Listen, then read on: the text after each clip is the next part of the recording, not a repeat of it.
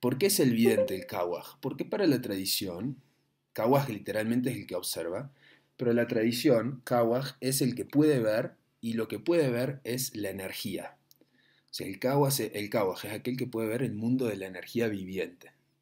Entonces, generalmente los pacos, por eso los hemos relacionado con este arquetipo, son los Kawaj. ¿Cómo veo este, este universo de la energía viviente? O sea, observo, además de la forma manifiesta frente a mí, que puedo observar con mis dos ojos, puedo observar el causa y la jucha del cosmos. Puedo observar dónde está fluyendo la energía y dónde se ha, estancado esa energía. Y lo interesante del vidente es que eh, justamente esto, o sea, usa su lioque y su paña, que son sus ojos izquierdos y, derechos, pero también eh, tiene la capacidad de observar y percibir la realidad con sus diferentes ojos. Ya vamos a hablar un poquito más de esto en esta clase más adelante, pero a esos ojos nosotros le llamamos ñawis. Con esos ojos percibe en un mismo espacio y tiempo diferentes expresiones eh, de diferentes dimensiones. Son diferentes capas de realidad que no son observables a primera vista. En cada uno de estos ñahuicuna, estos ojos que tiene, es una forma que tiene de relacionarse con esa realidad, de percibirla y de tejer relaciones con ella. Nosotros hemos sido criados y estamos muy acostumbrados a trabajar con nuestros ñawis que están conectados a una visión lógica de la realidad, ¿sí? una visión de, una interpretación estructurada y lógica que tiene que ver más con lo que aquí se llamaría el paña, el lado derecho de la tradición. ¿sí? Pero el, el, vidente por sí, que no es necesariamente aquel que ve el futuro, ¿sí? sino que es aquel que puede ver más allá del obvio, el vidente puede observar a través de estos distintos ñawis porque los tiene desarrollados. Ha hecho un entrenamiento en el cual estos ñawis están limpios y están funcionando observando la realidad. El Paco, o sea, su observación lo utiliza justamente para comunicarse con el causa y pacha. ¿sí? Y el Paco tiene diferentes mastas y diferentes formas a través de los cuales ejerce este poder de la evidencia, el poder ver la energía.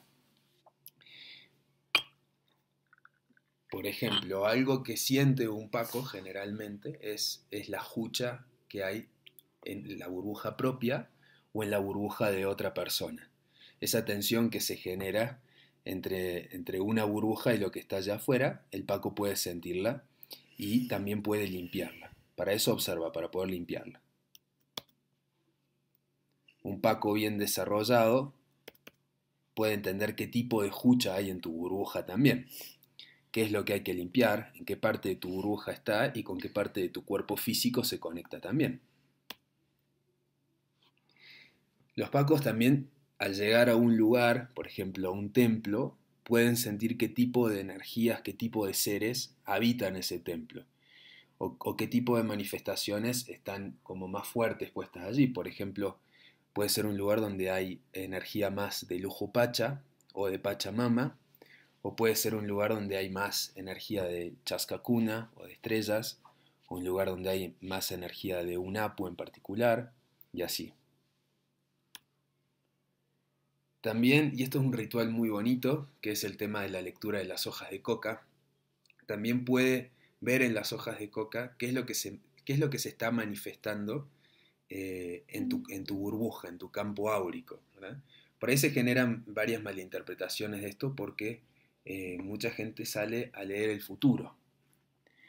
Y, para nosotros eh, no se trata de una lectura de futuro, así como cuando utilizamos las cartas de tarot, eh, todos estos métodos lo que reflejan son un espejo de cómo se encuentra nuestro psiquismo ahora, en este momento. Entonces, cuando se hace una pregunta sobre el futuro, tiene que ver con una posibilidad de cómo se desarrollarían los eventos en base a cómo me encuentro yo ahora cuando se tiran las hojas de coca, eh, el Paco ve en las formitas de la hoja de coca, en la dirección en la cual está apuntando, en cómo te ha caído, si más cerca o más lejos, si se ha salido una de la, de la mastana o si está más en el centro. Cada una de esas cosas tiene un significado y ese es desde su poder de evidente.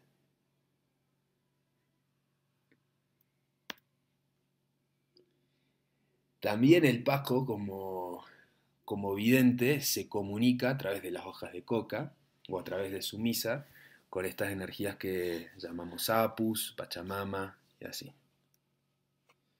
Y eh, también es un gran observador de los detalles, como ustedes aprendieron en la clase pasada, que va poniendo en su despacho, que tiene un masta y que tiene un orden. Para él, su despacho, su orden, en cada cosita que va poniendo en cada lugar, como les explicamos, tiene, tiene un sentido expreso. Eh, sí. El, el o la característica del kawak en, en los Andes es una de las características principales eh, del Paco. Si, vemos al Paco como un ser, eh, como una personalidad, el, poder, el poder de la visión es uno de sus principales poderes que se va desarrollando a lo largo del, a lo largo del tiempo. Y no estamos hablando de ver solo con los ojos físicos, sino eh, ya van a ver más adelante que en el mundo de los Andes eh, no solo se ve con los ojos físicos, sino con más ojos eh, que están situados en diversas partes del cuerpo. Entonces el kawat sería también aquella persona que tiene despierta los diferentes ojos eh, que están ubicados en diferentes partes del cuerpo que los relacionan con diversas energías en, en específico. De hecho, em, Francisco decía, el Kawab tenía una característica que era el, hecho de observar, luego experimentar y luego comunicar. Y está relacionado con algo que decíamos al inicio del curso, que es el, camino del Paco, eh, del sacerdote andino, que básicamente vendría a ser aquel que practica la espiritualidad andina o aquel que practica el camino andino, eh, que es un camino constante. Eh, una de las características es que es un místico por propia naturaleza, ¿no?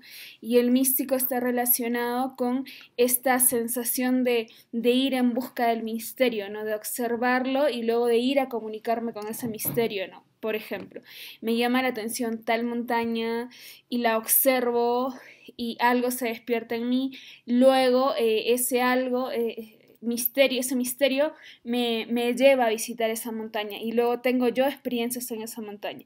Hasta ahí yo desarrollé un camino místico. Cuando yo vuelvo a, mi comunidad o al lugar donde habito y logro comunicar, es decir, logro contar lo que pasó allá, pero logro bajarlo a tierra y hacer que esa experiencia también ayude a mi pueblo, es ahí donde yo me convierto en un mago. O es ahí donde un, eh, donde un Paco empieza a generar magia.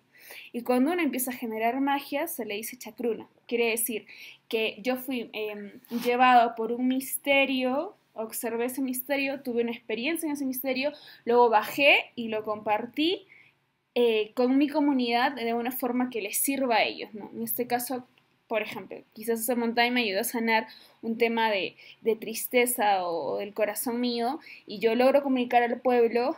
Eh, cómo esa montaña me ayudó, entonces muchos de ellos empiezan a hacer lo mismo y, suceden cosas. Entonces ahí yo me convertí en un chacruna, es decir, una persona puente como, eh, que fue llamada por el misterio y luego este misterio se transformó en, magia. Entonces, desde los Andes, eh, uno llega a ser un mago, por así decirlo, cuando logra comunicar una experiencia y enseñarle a los demás el, camino de esa experiencia. No es solamente una cuestión de ego, de yo puedo hacer esto. O sea, si haces eso, te quedas en un camino místico. Quiere decir de una experiencia y de un misterio.